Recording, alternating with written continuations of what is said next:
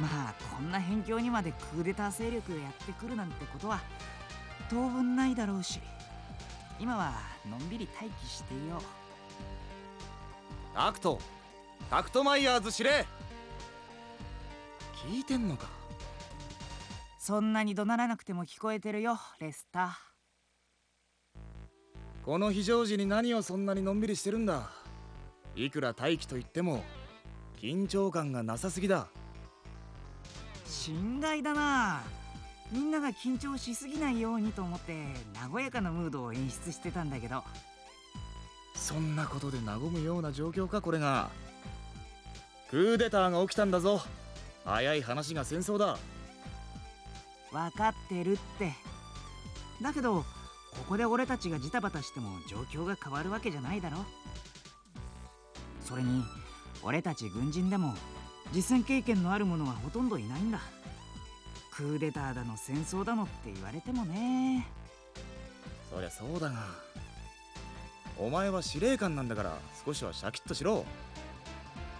俺がとやかく言わなくてもみんなが自分から情報収集に当たってくれているんだからいいじゃないか。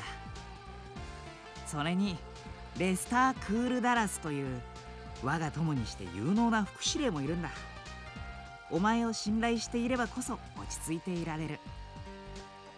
まったく都合のいい時だけ親友扱いしやがって。いざという時が来たら俺も全力を尽くすさ。そのためにも今は心ゆくまでのんびりさせてもらうよ。そのお気楽な性格が羨ましいよ。あのクールダラス副司令。なんだ？マイヤーズ司令って本当に大丈夫なんですか？なんだか心配になってきたんですが。見た目はいい加減だがあれで真のところはしっかりしているやつだ。信頼してくれていい。さてとじゃあそういうわけで俺はゆっくり休ませてもらおうかな。諸君頑張ってくれたまえ。とてもそうは見えないだろうがな。ははあなんだかんだ言ってもこれって長期休暇みたいなもんだしな。はは楽ができるっていいな。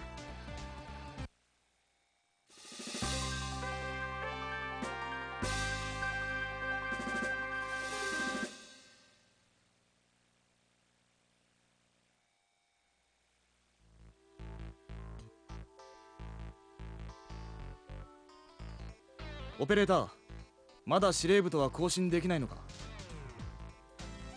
はい。沈黙したままです。周辺の整形の中流艦隊にも呼びかけているのですがまだどこからも応答は。そうか。やはりクーデター騒ぎの影響か。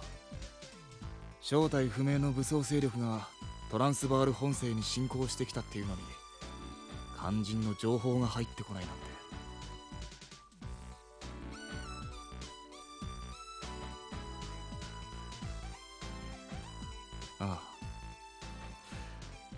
エオニア王子か。まさか生きていたとはな。あ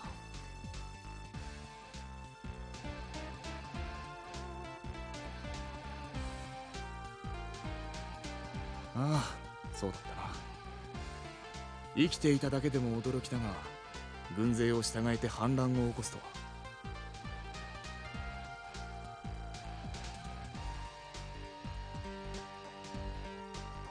そんなこと言ってる場合か。こうしている間にもエオニアは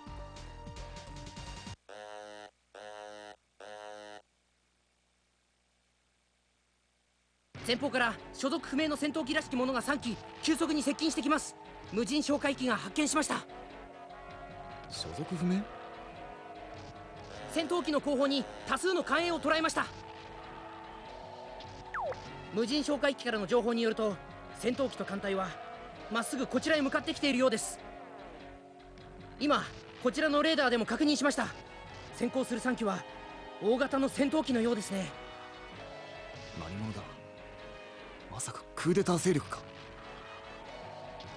クーデター勢力？それじゃあこちらに攻撃してくるかもしれないんですか？あれだけの数の艦隊や戦闘機から攻撃されたら我々の艦隊なんてひとたまりもありませんよこの戦闘機凄まじいスピードだな。もうすぐこちらの光線圏内に入るぞ。どうするタクトこのままじゃやられちゃいますよ。どうするんですかマイヤーズ司令。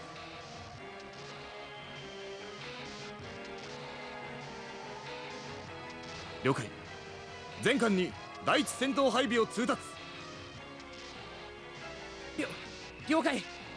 ですが自分は実戦なんて初めてなんです。うまくいくでしょうか？同感だが何か策はあるのか？どう考えてもただの戦闘機じゃなさそうだぞ。そそんな。あはい。えっ、ー、と未確認機の映像来ましたメインモニターに出します。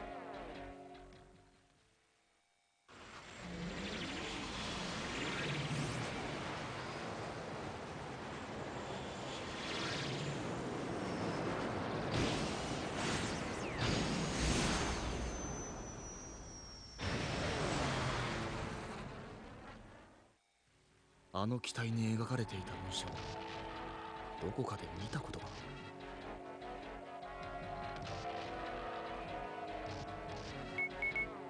マイヤーズ司令先行する大型戦闘機から緊急通信です。すいません。ちょっとお聞きしてもいいですか？そちらはクリオム星系中流艦隊で間違いありませんでしょうか？それじゃあタクトマイヤーズ司令官って方はいらっしゃいますか？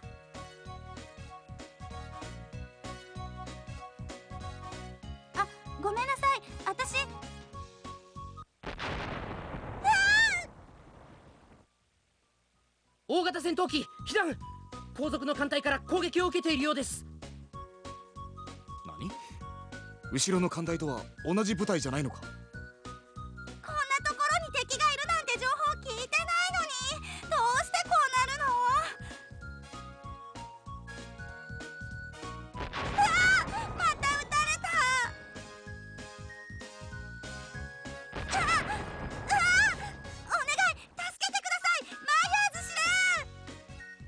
攻撃受けてキャーキャー言ってる。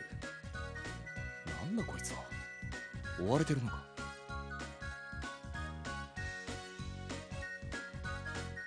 何をごちゃごちゃ言ってんのよ。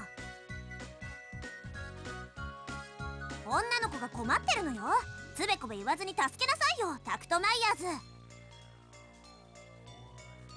ミルフィーあんたもいつまでもキャーキャー言ってないで。みっともないじゃないの。だってランファ怖いんだもん。私もう逃げる。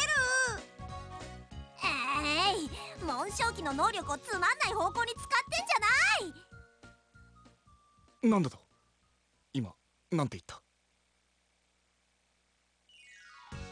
フォルテさん。フォルテさんからもミルフィーに何とか言ってくださいよ。わかったわかった。ランファもミルフィーも少し落ち着きなって騒ぐのもいいけどあんたたちここに来た目的忘れてやしないかい？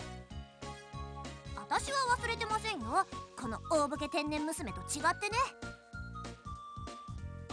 えランファそれって誰のこと？ここには私とランファとフォルテさんしかいないけど。そういうところが大武家だって言ってんのよ。はいはい漫才はそこまで。後ろから敵が来てるんだからそんなことしてる場合じゃないだろうまあ悪い。話の主役をほったらかしにして。私たちはお前さんに用があってきたのさ。タクト・マイヤーズ司令官殿。マイヤーズ司令戦闘機の称号ができました。